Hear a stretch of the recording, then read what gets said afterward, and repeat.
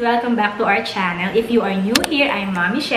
We do family vlogs, vlogs related to babies and toddlers, lifestyle, Montessori, and basically everything under the sun. Our vlog for today is about uh, easy houseplants and tips for beginners.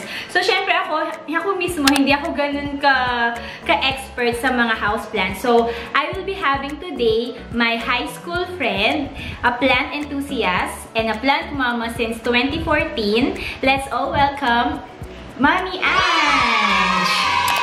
Yay! Yes! Thanks for having me, Thank Mami. Chef. Hello to all our viewers for today. Yes, thank I'm you. Mami Ange. Yeah, so siya ang owner ng Succulent Treasure sa SM Wow. Clark.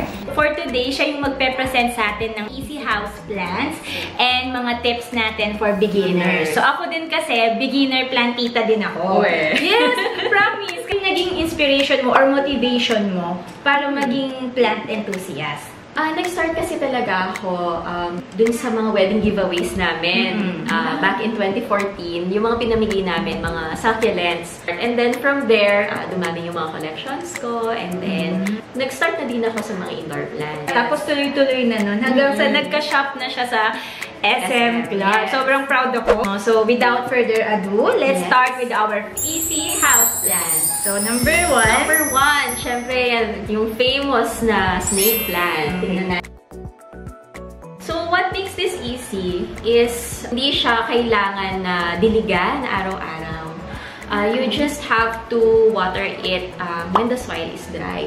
Tapos, ang kinaganda nito, it's a low light tolerant plant. Dami itong mga varieties. So, Oo nga, meron di ba yung... mga may yellow. Mhm, Ah, may I think yellow. ang tawag doon yung laurenti. Alam ko, meron tayo dyan eh. Hindi na, hindi na ano. Ayun, Oo, meron. Kunin ko kaya Sige, para sige, meron Para makita nila. Zilanica. Ayan. Ang gaganda ng pangalan, no? Oo, Ito ayan. yung other variant. Yes. Madaling alagaan. Mhm. Tapos, over time, magkakabibigyan kanya ng maraming babies na pwede mong padamihin. Wow. Yun. So, meron kaming 150 to 300. Oh. Tapos, meron din kami ng mga um, bacularis na Sansevieria. din. Ah, yun yung mga best-selling namin na maliliit. Tig 200 lang sila. Oh, Tapos may pot na yun. Ah, plastic pot pa lang. Ah, at least Mhm. meron na siya. Yes. Ang ating next plant naman is... Dracaena. Okay. So, sa Dracaena, Ito, yung, malaki. ako na, Song of. India. So, Okay. meron siyang um, mga margins na Ganda. green at saka, yes. So, si Dracaena, um, kamag-anak niya sila fortune plant. Um, bakit ko siya masasabing easy? Kasi, hindi rin siya, ano yung mga halaman na matampuhin. Hindi sila ganon. Medium to bright light. And then, yung watering frequency niya, water two times a week. Kasi, medyo matakaw sila ng Sa konti tubig. Mm. Tsaka di ba kapag ka- ipapa-roots mo itong mga to sa water din? Yes, Mm-mm. sa water din. Siya. Pag ganitong lush na siya, nasa 600. Pero pag baby pa siya, Pag baby pa siya, nasa 150. okay, sobrang affordable. Ako kasi mas gusto kong bumibili. Kung bibili man ako, yung baby pa lang. Mm-mm. Para ano, oo, para diba? palakihin mo na. Makikita mo na siyang lumalaki, gano'n, Mm-mm. di ba? So, yun. Photos. photos. Ay, favorite. Ako naman yan, yung favorite ko. Photos. Kasi sabi nila, hard to kill daw yan eh. Ay, true. mga, kung isa yan, kung mamimili ka ng isa sa mga hard to kill na plants, natin. Photos siya. Ayan siya. So, Ganda. this one is the golden photos. Okay. Pero may nakita po ako dito sa bahay nila. Regalo lang po. Isa naman to sa mga favorites ko din. Mm. Silver satin po. Ganda. Yung mga pothos kasi talaga, trailing sila in nature. Mm. Yung gapang, Oo, vines. true. Mm-mm. Pero, um, pwede ka naman bumili ng hindi pa gapang para mas maliit siya. Mm-mm. So, you can style them however you want. Yeah. Oh, and then yung watering nito, um, ako, I prefer to water it twice a week din, just like the Ay. Dracena. But of course, you have to check the soil. Kung Um, dry Kung dry. okay. At least half dry. Nice range. So, depende again sa variety ng Mm-hmm. um, ng photos. The lowest you can get from us, naka-plastic pot na siya, 120. Mm, okay. Ah, philodendrons. Mm-mm. Pang port, pang na pala tayo. Comfort na pala. So, there are different kinds of philodendrons. And what we have here is the philodendron burl marks. What I like about this type of philodendron is yung shape ng, Shape ng shape leaves. ng leaves. Ayan. Ganda, pa-heart siya. Burl marks, pakita ka. Ang nature nila, parang similar to yung mga photos. Okay. So, same light requirement and also same watering requirement. Sa Treasures, ang pri- price range nito, sa ganito, in a pot, nasa mga 600. Okay. Pero kapag ka-baby pa, Pagka baby pa, Yeah. 2 or 3 leaves nasa mga 400. Ganon. Okay. May nabenta kami na very lush talaga. Mm. It's 1,000 only. Pero punong-puno yung pot. Yung pot nasa mga ah, 10 by 10 or 12 by 12 pa nga. Mm, 1,000 Lush siya. lang? Oo, very lush. Mura. 1,000 siya. Punta na tayo, guys. Now na. Monstera! Ang sikat na sikat na Monstera. Yes. But this uh, Monstera is what they call yung Swiss cheese Monstera or yung Mhm. Alanzonay. Uh, kaya siya tinawag na Swiss cheese kasi Para ayan, siyang mga butas-butas. No? Oo. Yan yung price range nun um, from 500 pataas. Oo, mura na siya. Mas mura noon. Ano? Mas mura noon. Pero, Ngayon kasi sumikat talaga Yes. sila. Yung Monstera talaga, sumikat siya ngayon. Yes. Frequency. Watering frequency nito, just like yung mga previous ones, sa loob, you wait for the soil to dry. And then yung um, light requirement niya, nasa medium to bright din. Pwede, pwede. Just make sure na hindi direct sunlight. Mm-mm. Kasi mababurn yung leaves niya. Mag magkakaroon ng black markings, tas irreversible. ang ating Ziggy! Di ba tinatawag din na ito welcome, Welcome plant. This one, you only water it when the soil is dry. Okay. And it can also tolerate low light. Mm-mm-mm. Oo. So, light. just like yung ano, uh, Ito snake yung plant. nasa kusina ko. Kasi yung Mm. kusina namin, hindi masya, walang masyadong... Oo, nasa dulo siya Oo, eh. nasa dulo siya. So, ayun, na-survive naman siya kahit pa paano. Magto 2 months na siya dyan. Oo. so, this one, sa store namin, magre-release kami ng mga nasa 150 lang. Tapos, hindi, hindi sila ganun kaliit. Medyo mas mataas pa sila. Ah, talaga? Oo. Wow. Pero ito, pag potted na, syempre, iba yung pricing natin. Oo, kasi lalo na ngayon medyo nagmahal yung mga pots. Yes. Diba? Ganda niya, guys. Grabe, oh. Meron siya parang pinkish Oo. na ano. Ah, tinry kong i-research yung name nito ah, nung una ko siyang nakuha. Ah, pero hindi ko talaga ma-confirm kung ano talaga Mm-hmm. siya. Pero the closest I can find is, ang tawag sa kanya, Mystic Fire. Oo. Siguro dahil Para siyang may, may fire. fire. Sobrang dami ng varieties ng aglaonema. As in super, tas madali ding alagaan. Okay. Water them twice a week lang din. Okay. And then, medium to bright light. Ang price sa shop nito, yung isa namin is 350. Pwede na. Pwede na. Tapos, malaki pa, malaki pa siya. Ganito din siya kalaki. yes, this is a syngonium. Syngonium. Mm. Okay. So, na medyo nahihirapan akong ihanap din yung um, exact name niya. Mm-mm. Kasi sobrang dami ng mga varieties ng syngonium. Pero ito, I particularly, particularly like it because of yung, again, pink. Yes, gusto mo yun yung mga may color. Yes, color pink. Mm-mm. Tapos parang hindi lang siya isang plant tuloy. Parang marami siyang plants in one. Kasi nga Okay. iba-iba yung patterns ng leaves niya. Twice a week ang dilig and then medium to bright. Okay. So, yun yung general rule ko. Mm-mm-mm. Maliban lang sa snake plants at saka sa sa ZZ plant. So, yung price range ng ganito, Yeah. nasa, pag may pot na, nasa 350. May Okay. pot na yun. Our second to the last plant. Alin? Ito gusto ko to, aloe vera. Ako, gusto ko to kasi functional siya. Yes. Two in At one. aesthetic na siya, tapos Oo. functional pa siya. We have this um, aloe vera. It's a very common plant dito sa Philippines. Kasi sometimes, kahit saan ka tumingin, merong Mm. aloe vera. Pero, pwede din siya sa loob ng bahay.